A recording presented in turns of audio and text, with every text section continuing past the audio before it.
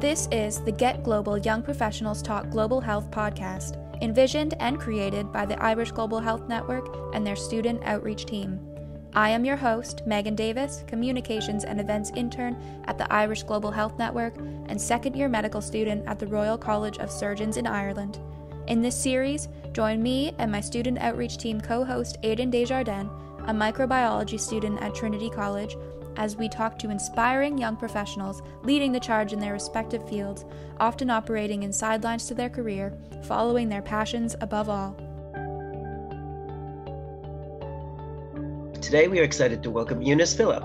Eunice is a healthcare professional with over 10 years of experience in emergency nursing, childhood immunization care, and reducing stigma in tuberculosis and HIV care in West Africa.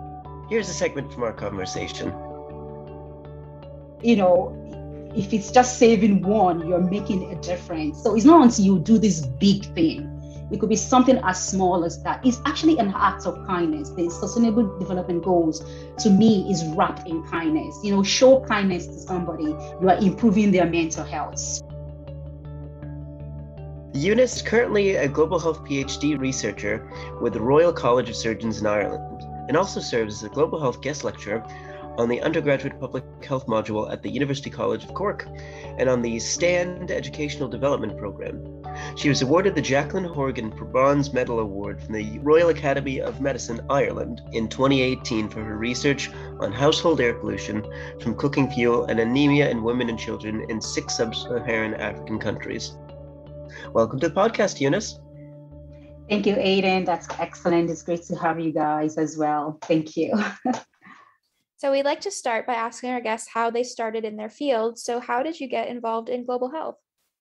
To be honest, health related topic has always been somewhere in my life, you know, from my parents deciding that I would be a medical doctor when I'm older to volunteering with the Red Cross Society in high school um, back in Nigeria. But looking back now, um, there has always been that pull towards health and well-being However, the actual call into public and global health was owned during my nursing career as an emergency nurse in Nigeria. Um, I was also involved within that period in childhood immunization, HIV, and TB care. And within those periods, there was this glaring disparities in health among my patients due to whether they were from a rich family or from a poor family or from which part of the country they were. And I knew there was something wrong there. Like, why should I treat this patient differently from these other patients? Um, I think the most glaring example for me was childhood immunization, where you have one child born into this affluent family, and this child is happy out with complete immunization, you know, records and traveling around the world. And then there is this child from a low-income com- uh, family that's struggling to actually make it to an overcrowded health center for their first dose of vaccine just because they can't afford the rich hospital. And you see this across the HIV and the tuberculosis treatment centers, you know, where I work. And these were my light bulb moments that there could not be a reasonable justification that where I was born or my economic status should be the judge and the jury of my rights to good health, well being, and to life. So, this conviction is what has underpinned my public and global health work. And I would say that's actually where it all started. Like, I just can't find the balance between these disparities. So, um, yeah. We understand that your current research is focused on implementing and evaluating a holistic and community based participatory approach in, to reduce household and ambient air pollution in rural village in Malawi. And you're calling it the Smokeless Village. Can you tell us a bit more about that? Uh, thank you, Aidan. Um, that project is it's one of the projects that when I look at it now that I'm actually really embedded in it, I see everything that I just spoke about earlier on about the disparities. And it's so glaring. But to actually answer your question, this research project, the community-based participatory approach is actually embedded in this bigger project where we are looking at reducing household and ambient air pollution in a rural village in Malawi. the project is built around the Sustainable Development Goals, and the overall aim is to reach the farthest behind first. Like, how do we bridge this gap that is constantly there between the rich and the poor, the affluent and the low, low socioeconomic people? And the one of the things that um, is interesting to me about this project is that it feeds into a number of the sustainable development goals. So would have goal 13, which is climate action, because when you're, you know, um, looking at reducing household air pollution, you're looking at the fossil fuel, the, you know, the biomass fuel that's been used, which has been associated with climate change. Uh, we're also looking at the Sustainable Development Goal 7, um, which is affordable, reliable, sustainable, modern energy for all. Because how do you tell people to, to stop cooking on, you know, uh, with biomass fuel when they don't have these alternatives available to them just because of who they are or their socioeconomic status. We're also looking at um, simultaneously at these the SDG 5, which is looking at gender equality. Um, if we all look, um, listen to the COP26 that just finished, everything is about, oh, women is more affected by climate change, you know. So it's interesting that this um, research is looking into all these in addition to this SDG 3, which is health and well-being. Uh, because overall, if we look at this, we're looking at the impact of household and ambient pollution on the health of these people.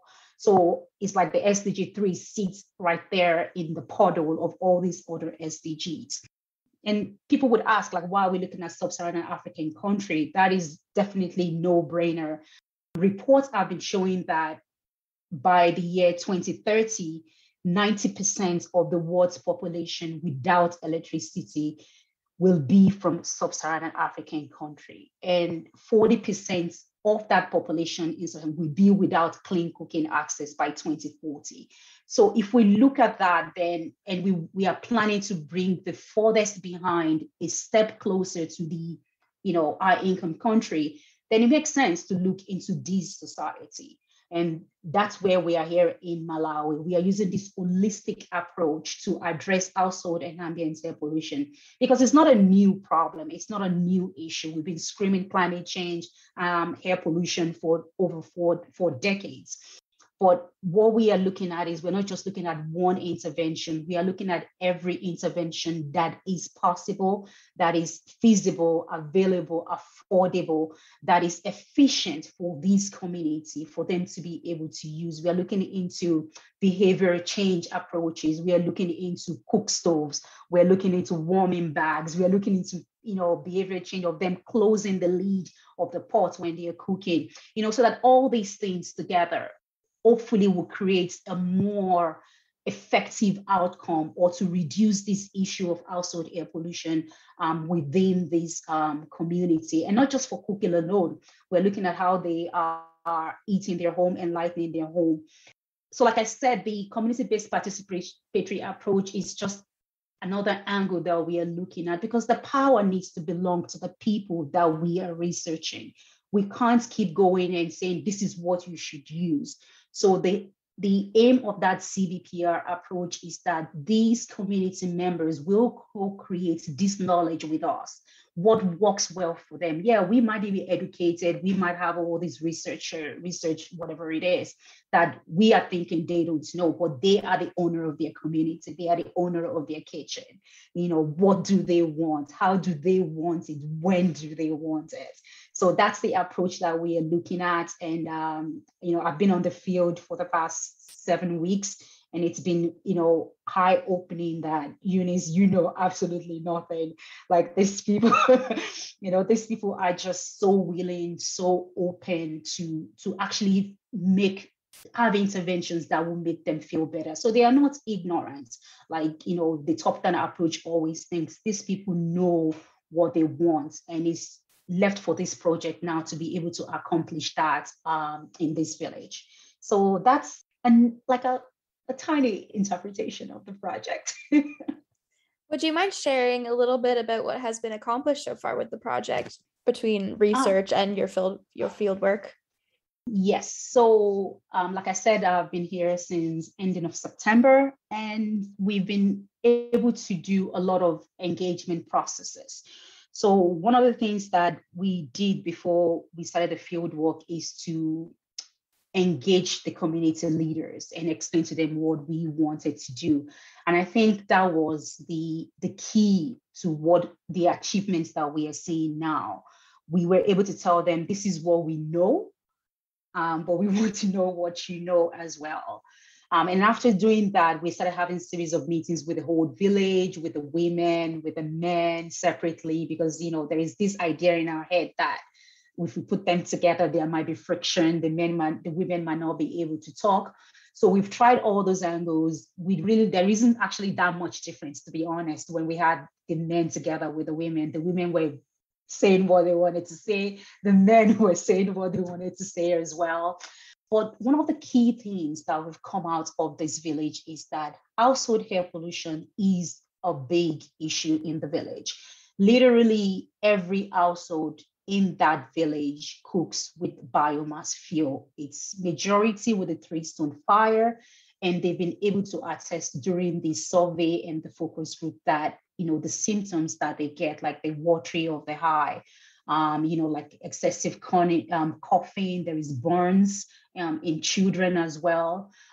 So they are very open now because we are there to say, this is what we have read in research that works but what do you think? So that's the stage that we are here now. We're actually going to leave them with that idea to think about which of these interventions would suit that particular village. And they would be the decision maker for that and come back to us and say, we've decided this is what we want. And then the project comes in and implements that intervention um, on behalf of the, yeah, for the people in the village what else? Yeah. Apart from household air pollution, just like any poor poor community that you know research has been done, there are lots of other issues as well. For instance, there is water issue, there is drought. It's been dry, really, really very dry in Malawi um, since I've been here. So the farmers are complaining. There is, you know, you can they, they, tell you about the poverty level.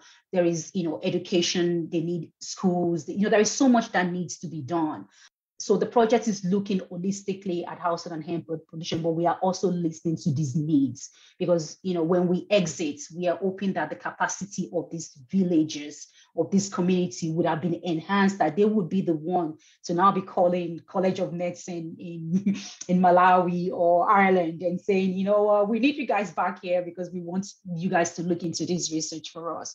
And I think that's one of the key outcomes that we are looking for in enhancing the capacity of, of this community, which we are seeing already. I mean, people are really coming up and really interested in what we are doing. We are teaching, you know, um, not using the resources within the community. For instance, we're using the carpenters to build what we needed to measure the um, household air pollution. So we are therefore household air pollution. We are also, you know, engaging the community in every other aspect um, of their lives as well.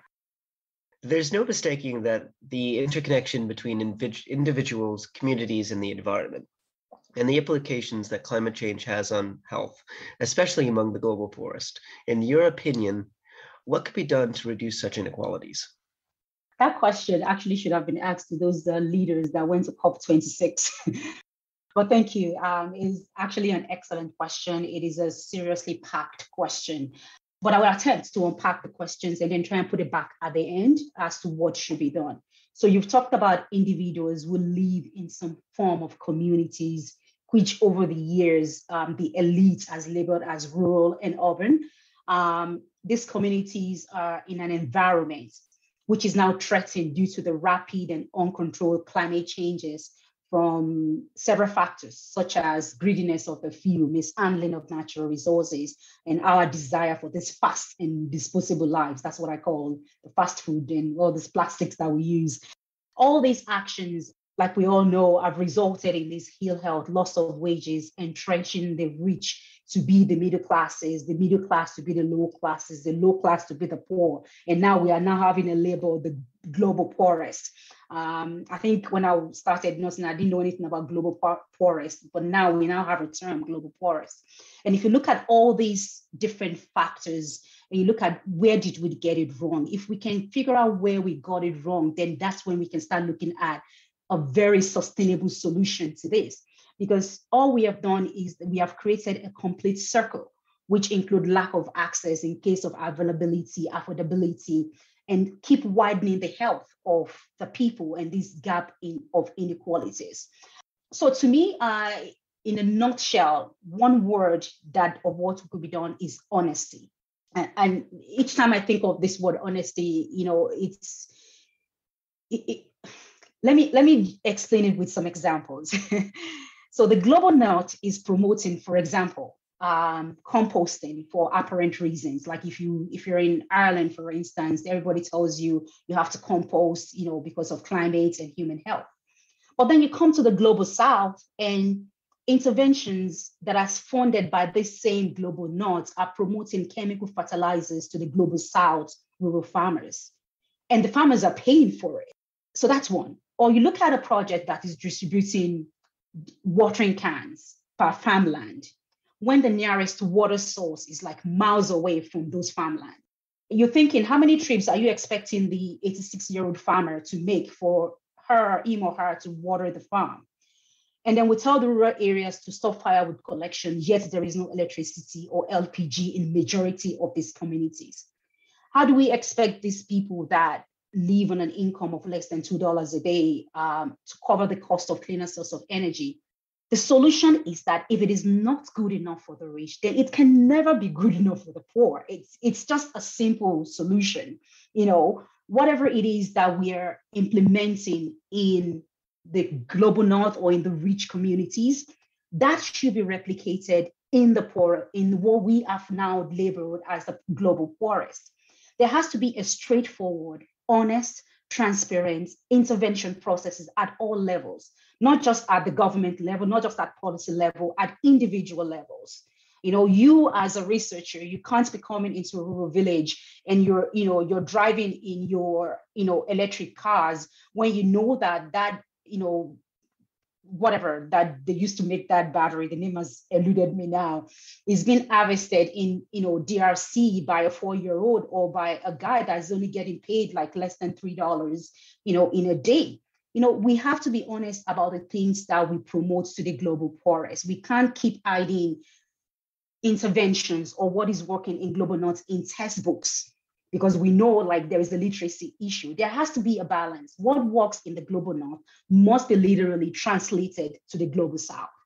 There is no, there should be no washy, wishy-washy about projects anymore. No longer tick boxes approach um, or charity walks or anything like that. These people are enlightened people, maybe not as ABC as we know it, but there is no culture, there is no tribe, there is no race that does not have knowledge that has been passed on over the decades. And that should be acknowledged in every intervention that we are looking at if we want to stop this imbalance between climate and health and individual and communities. We need to listen more. I think that's just my, yeah, that's my solution. Thank you for your passion on this subject. It's really great to hear. Um, and before we wrap up, uh, how do you think we as global health professionals could better incorporate the SDGs into our work? to be honest, Megan, everything that we do now is about the SDG. That's what I've told myself now. Like there is nothing that we do that is no longer SDG. It's covered under, you know, when you turn on the light in your room, it's and you know, it's you're thinking of SDG when you're washing your mouth and you leave the tap running, you're, you know, you're there's an SDG in there. I think what needs to be done a little bit more when it comes to global health um, advocates or workers is to create a ripple such that you're not the only one that is aware of this. You know, be involved more. And when I say be involved more, I'm not saying spend your whole life 24 hours in global health, but you know, you meet someone on the road and they just threw that plastic bottle away. Oh, hi, my name is Eunice and I'm a climate, you know, and that bottle can actually be reused. You know that that person might not listen to you, but there is, you've already sown a seed in that person. So that that way we are like that boy, that starfish boy. There's a starfish story where the old man was asking the boy, you know, why are you keeping throwing the starfish back into the thing? You can't finish it. And I remember that it says that if it, you know, if it's just saving one, you're making a difference. So it's not until you do this big thing it could be something as small as that. It's actually an act of kindness. The sustainable development goals to me is wrapped in kindness. You know, show kindness to somebody, you are improving their mental health. Smile more, you are improving somebody's mental health. That woman you saw on the street that is struggling to feed a child, if you have an extra bond, give it to her. Like, you know, those are SDGs. It's not until we sit on the panel of COP26 or travel around the world, you know, that's to me, that's not making a difference. The difference is in the little things that we do. So that's what I would suggest to you. Um, yeah, the little things. Do more of the little things. Thank you so much for coming on the podcast, Eunice. It's been an absolutely incredible and fascinating conversation. If you'd like to learn more about the Smokeless Village project, please visit www.thesmokelessvillage.org. If you'd like to learn more about the Irish Global Health Network or the Student Outreach Team, visit www.globalhealth.ie where you can sign up for our newsletters. Thanks so much for tuning in.